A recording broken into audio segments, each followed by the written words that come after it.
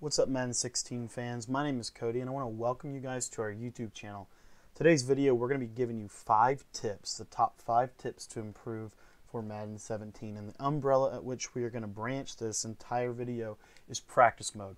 This is the most important thing you can ever do to get better at this game. When we're talking about preparing for Madden 17, what we want to do is we've got to get into the lab, we've got to get into practice mode because what practice mode allows us to do it allows us to train our plays against one another.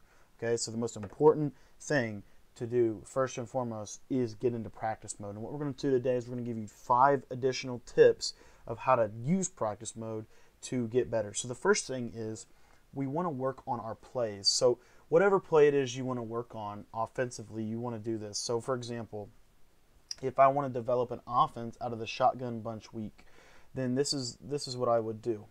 I would come out, pick a play I want to use. So let's just use Z Spot for example today. So we're gonna we're gonna give you the top five tips for developing this play Z Spot. Now this is a popular play. It's got a nice route to the to the to the far right receiver. So we're gonna call Z Spot. Now the second thing we're gonna do is we're gonna come out and we're gonna face dime. We're gonna call dime normal, and we're gonna call the play cover four. Now what this is gonna do is on defense we now have the opportunity to call cover two man cover two, cover three, and then we came out in a cover four. So we have access to all the coverage trees so we can run this play against all of those. So what I would recommend is you want to just kind of run the play. So we'll call man coverage and we'll just run it and we're going to take a sack. Now once we get sacked, and this is the first tip, we're going to go into we're going to go into instant replay. Okay, so the first tip is to call that cover four when you're running your plays.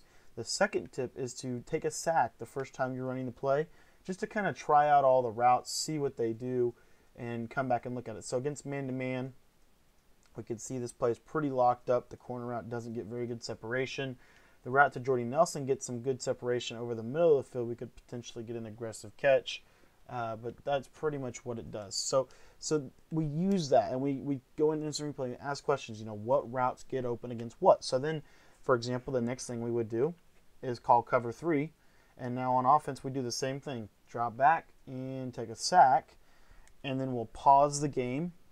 We'll go into instant replay, and we'll just look and try to understand what is happening uh, with the routes. That's the you know one of the most important things uh, that we can do, and you can use this on defense too when you're practicing uh, with your blitzes, and we'll show you that in a moment.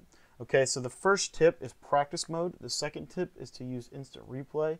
The third tip is to use random plays. So one of the things that I would recommend you to do is, for example, once you feel like you've mastered uh, your routes, you know, you feel like you've mastered your routes, I would recommend running this against the random play feature. And what's going to happen here is they're just going to come out and whatever it is, random play, and you're just going to cycle through your routes, your progressions, work your reads. And what you're going to be able to do is, I would focus on identifying how to read the defense. So learning how to read a defense, and we will show you that uh, through this offseason. So stay tuned to the YouTube channel. If you want to learn how to read the defense, we are going to show you. But what this is going to do is it's going to allow you to be very good at, at, at practicing learning how to read the defense. So what I'm saying here, so for example, right, snap of the ball. Okay, I see this. I'm going to say this is cover zero. There's going to be nobody deep, so I'm going to show the play art now, and voila, it's cover zero. So then I now know, okay, how do I attack this? This is one of my plays for cover zero and, and you can see they're uh, going to be a wide open touchdown. So again, number three thing is to use random plays. Number four thing, guys, the number four thing you can do to improve for Madden 17 is learn the ins and outs of the coverage system. Learn how to tell, is it cover three, is it cover four, what are the safeties doing? Okay, so right here, it looks like a blitz off the left edge, so I'm going to set up a play that's going to flood to the right side of the field. And what you're going to see here, he goes man to man. We've got that wheel route in position a nice little possession catch on the sideline. So those are the things that you want to do. And finally, guys, the last thing I'm going to tell you, the thing that I think is the most important of all of the tips we can give you is relentless repetition. And what relentless repetition is, guys, is we get in the lab every day. We are a gym rat. We are constantly trying to get better at this game. And we do that by relentlessly logging on, getting into practice mode, running our plays over and over and over and over again, learning the ins and outs of them, going through every single play in our playbook, relentlessly repeating the process over and over again, trying to figure out, okay, PA slot cross looks like an interesting play, so I'm going to try it out and do all sorts of things. So I'm going to come out of my dime normal package and do exactly what I just did with the Z spot, but I'm going to do that from the, the single back doubles now and learn the ins and outs of it.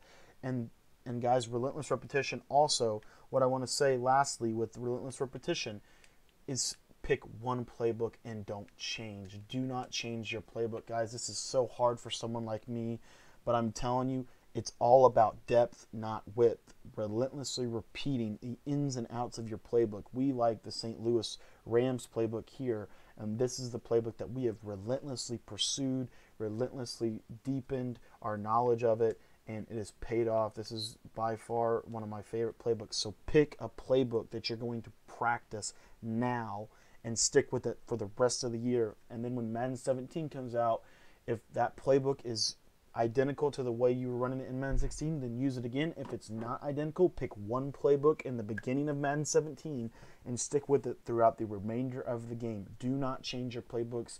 It is essential that you run the same playbook all season long. That's the biggest tip I could give you guys. Running the same playbook all season long is going to deepen your knowledge of your plays.